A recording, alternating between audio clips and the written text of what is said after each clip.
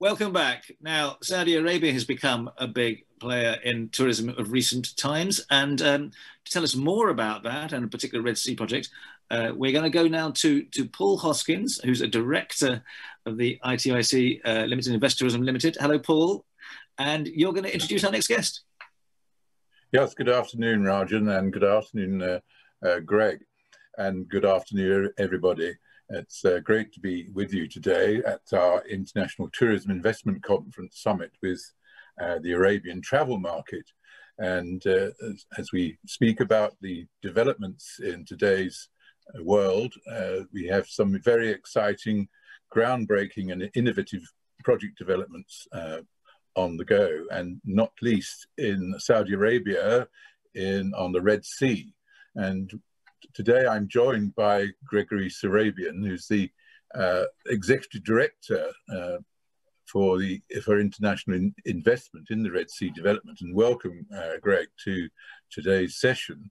And we're all very interested in hearing about what Red Sea development is up to in Saudi Arabia um, and the very special ways in which this giant project is being approached because I know that uh, you're going to tell us a lot about the sustainable environmental aspects of the activities and the um, opportunities there are for joint ventures and further investment in this multi-billion pound, three billion dollar project.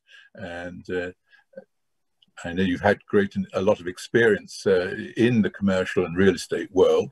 Um, you were starting with Price Waterhouse Coopers. You're, I think, uh, a resident formerly of New York, now in Riyadh, uh, where you're joining us from today. And welcome. And uh, let us hear a little bit now about, well, not a little bit, but a lot about what uh, you're doing uh, with the Red Sea development in Saudi Arabia. So please uh, let um, let's start with your presentation. Thank you very much, Paul. I appreciate the introduction and uh, for everybody for inviting me to be a part of the ITIC ATM Middle East Tourism Investment Summit. As Paul said, my name is Gregory Surabian. I am the Executive Director of Investment for the Red Sea Development Company. The Red Sea Development Company is developing Saudi Arabia's flagship tourism projects, the Red Sea Project and AMAALA. Both projects, born out of Vision 2030, are sponsored by the Public Investment Fund of Saudi Arabia. I'm here today to talk about the Red Sea Project, a pioneering project on the Red Sea coast, which is transforming tourism in the kingdom and leading the global transition towards regenerative development. But before we begin, here's a short video.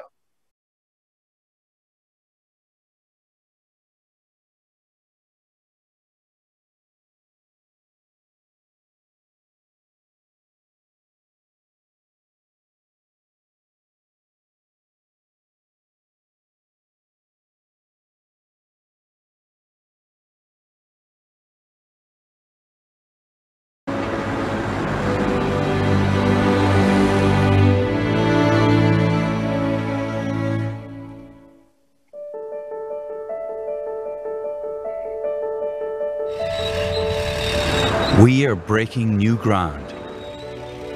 We're thinking differently. Sustainability is no longer enough. As David Attenborough so rightly mentions in his latest film, we're moving from being apart from nature to becoming a part of nature once again. For us at the Red Sea Development Company, nature is our most valuable asset and our greatest inspiration. We are located between Al Wajh and Umluj on the west coast of Saudi Arabia, in an area comprising a pristine archipelago of 90 islands teeming with coral and sea life, spectacular mountains, rolling dunes, and even dormant volcanoes. Our master plan was approved by His Majesty King Salman in 2018. Since then, we've been constantly breaking new ground and building on our promise. And to date, we've awarded over $2 billion worth of contracts. Our hub island continues to build momentum, created in partnership with some of the world's leading architects and designers. And work on our new international airport, designed by award-winning architects Foster and Partners, is well underway. Our site hosts 4,000 construction workers, and this number is growing weekly. Soon, they will be housed in our new construction village with the highest quality accommodation, healthcare, and sports facilities. The construction of our coastal village is progressing well. Eventually, this will be home to 14,000 people who will work at the destination. Connecting all these locations are newly completed roads, jetties and causeways. Upskilling young Saudi talent is also our priority. For example, our partnership with the University of Prince Muqrin has provided 120 scholarships for international hospitality management degrees accredited by École Hôtelière de Lausanne. And 45 Saudis from the local area have been trained to manage our 100 hectare nursery. Conservation is a must. Sustainability, a step in the right direction. Saudi Arabia's groundbreaking vision is coming to reality. This luxury flagship destination is delivering new standards in hospitality. Carbon neutral regenerative development is at the heart of our ambition. But the new frontier for tourism development is regeneration. This is what the Red Sea Development Company is all about.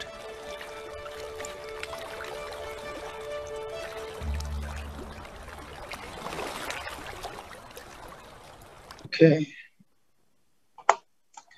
Great. I hope you all enjoyed the video. Fantastic. Thank you. Thank you. Look, the Red Sea Project is the world's most ambitious tourism project. It is a luxury destination created around one of the world's last hidden natural treasures, setting new standards in sustainable development, and will position Saudi Arabia on the international tourism map. Next slide, please. Saudi Arabia's Vision 2030 recognizes the role sustainable tourism plays in its future. It is seen as a driver of investment, an enabler of innovation, a pillar of the economy, and a generator of jobs.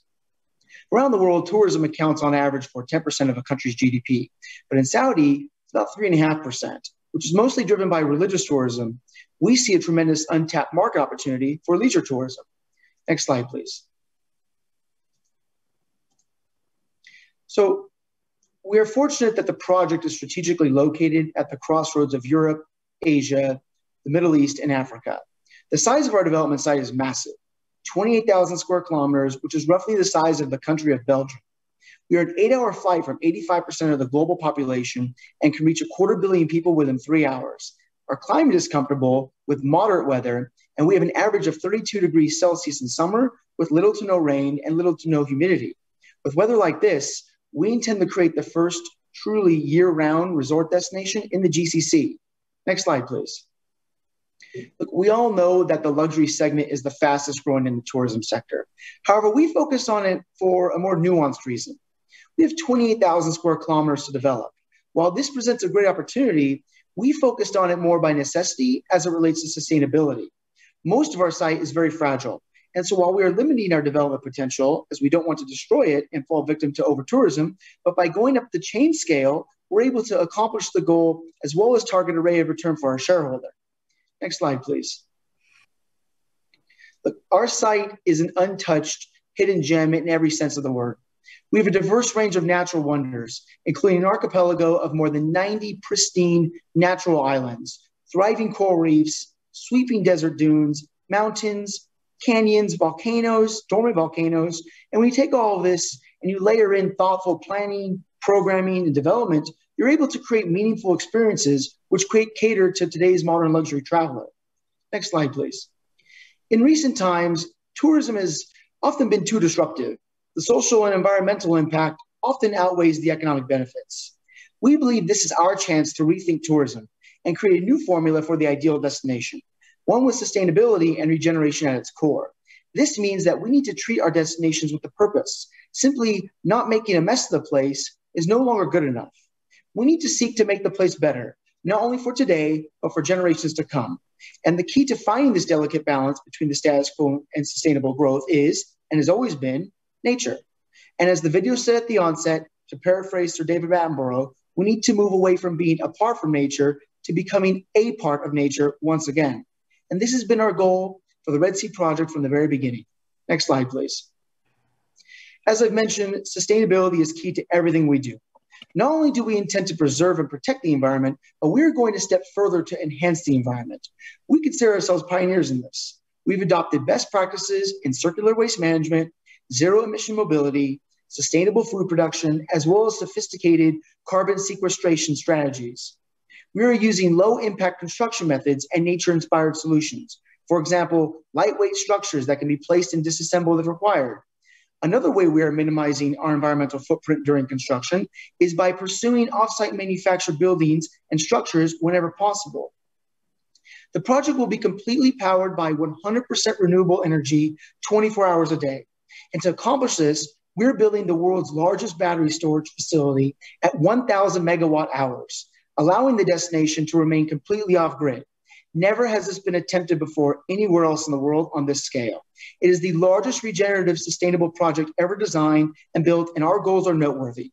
Instead of simply maintaining what exists today, we have set ourselves the goal to increase the conservation value of our destination by 30% by 2040. We have created the largest landscape nursery in the Middle East. It's the first to specialize in native and endemic Red Sea plants. We're protecting animal habitats and key endangered species, such as the nesting habitats of the crab plover and the critically endangered hawksbill sea turtle. We launched a turtle tagging program in partnership with King Abdullah University of Science and Technology to track and better understand the behaviors of the hawksbill and green turtle species native to the Red Sea. Now, while we're blessed with thriving coral reefs, now is not the time for us to be complacent. We are actively seeking ways to increase Red Sea coral reef abundance through enhancing reproductive success, through coral nursery development, and thermally adaptive reef building, as well as growing coral in the lab using 3D printing technology. And on top of all of that, we also consider ourselves to be a good corporate citizen, to where we will create socioeconomic benefits and employment opportunities. We estimate approximately 70,000 direct indirect, and induced jobs to be created. Next slide, please. We are fortunate to have been granted a special economic zone designation. The SEZ allows us to create a legal and regulatory environment based on international best practices, as well as to create an environment with relaxed social norms to welcome tourists from all over the world. The laws are being finalized with the various ministerial committees, and we expect to stand it up soon. Next slide, please. We are also creating a destination-wide smart infrastructure.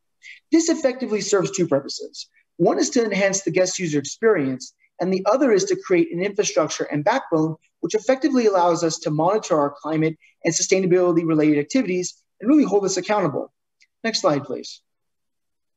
So, when you take all these key six pillars in total our strategic location, the natural environment, diverse activities, sustainability at the core, the Smart Destination and NSCZ, we believe that this provides a compelling value proposition for today's modern luxury tourist.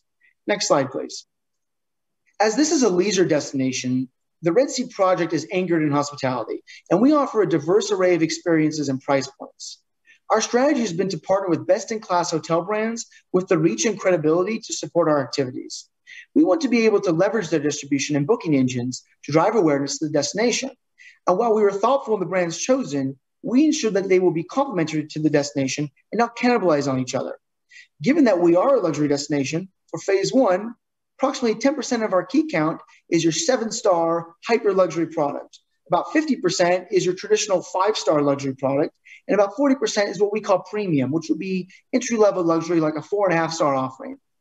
So if you want exclusivity and privacy, we have our mono islands, which are mostly over the water villa product. Think the Maldives and Bora Bora. If you want to be where the action is, we have our hub island called Shurayrah, which has 11 hotels and is filled with all the amenities, a golf course, dining entertainment, marina, yacht club. And if you want something even more exclusive and unique, we have our inland destinations in both the mountains and the desert. Again, there's something for everyone here at the Red Sea. Next slide, please. Our first phase comprises a total of 16 hotels and 3,000 keys across five islands and two inland sites and will include all of the hard and soft infrastructure to enable and support the destination, including a brand new five star international airport to ensure connectivity to major hubs and global source markets. The overall project, once completed, will deliver about 50 hotels and 8,000 keys. Next slide, please. So, on completion, This will be an integrated resort destination offering a comprehensive array of hospitality and leisure and lifestyle options, all supported by state of the art infrastructure. The Red Sea Development Company is the master developer. And while we are not selling off individual plots of land, we are seeking partners who share a commitment to sustainable development, Vision 2030, and the like. And we will partner with them in the form of joint ventures or fund formations. Next slide, please. We are progressing at a rapid pace and are looking forward to welcoming our first guests by the end of 2022 when the international airport and the first few hotels open. We have completed and brought online several assets and supporting infrastructure to date. To date, we have awarded over $4 billion of construction contracts and commitments. Late last year, we entered into a large scale public private partnership to design, build, operate, and finance our primary utilities, including our renewable energy system. And we have recently secured and signed a $3.8 billion green loan facility to fund development of phase one, noting that this is the first ever riyal denominated green loan in the kingdom. Next slide, please. We covered a lot here today. And candidly, a 15 minute presentation does not give this project enough justice. It is very ambitious, and we are making great strides in bringing this to reality. At the end of the day, we are creating an integrated tourism destination that is a haven of barefoot luxury, bringing together nature, ecology, culture, and sustainability. With all that being said, I hope you all enjoyed the presentation, and please feel free to reach out to me with any inquiries. Thank you very much. Well, thank you very much indeed, Greg. That was uh, phenomenal, and uh, it is without doubt one of the most ambitious and exciting uh, development projects anywhere in the world, I would vouch uh, at, at, the moment. And to expect that the first property will be available along with the airport by 2022-23 is fantastic. So I'm sure I join, everybody joins me in wishing Red Sea Development and you and your colleagues every success for the future. And in, uh, I hope, that there'll be some people on uh, at our attending our summit today who will be interested in getting in touch with you to discuss uh, the possible joint ventures which you spoke about yes. and uh, to take advantage of those opportunities because it's quite clear that it's ha all happening in the kingdom of Saudi Arabia at the moment. Yes, yeah, thank you, Paul. And we, and we, we would welcome that, welcome any dialogue. So, like I said, please feel free to reach out and uh, Paul, I appreciate it. Thank you. Indeed. Thank you very much, Greg. And uh, we look forward to learning about the next stages at uh, future events. Thank you so Sounds much. Good. Take With care. That, I hand you back to Raja to introduce the uh, next session, which is uh, promoting gender equality in the Middle East. So please wait a few minutes and we'll be back with you very soon. Thank you.